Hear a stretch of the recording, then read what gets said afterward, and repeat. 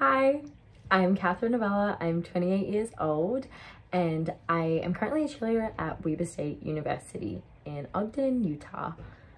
I've been cheering for 10 years now. I started in my first year of university at Monash and I am applying for the position as a flyer and I don't plan on competing with an all-star program at Worlds this year. My main reason for wanting to try out for Team Australia Co-ed is that I've always wanted the opportunity to represent my country at the highest level possible in a sport that I'm truly passionate about. Being a collegiate cheerleader for the past three years has given me a ton of experience in game day cheerleading, chants cheers, and I would love to share that knowledge with people back home. Trying out for this team has always been one of my dreams for my cheer career and I'm so excited that this moment's finally here. I'm honestly just excited for Australia to put our best foot forward and show the world what we're capable of doing. Thanks so much for watching my video and go Australia!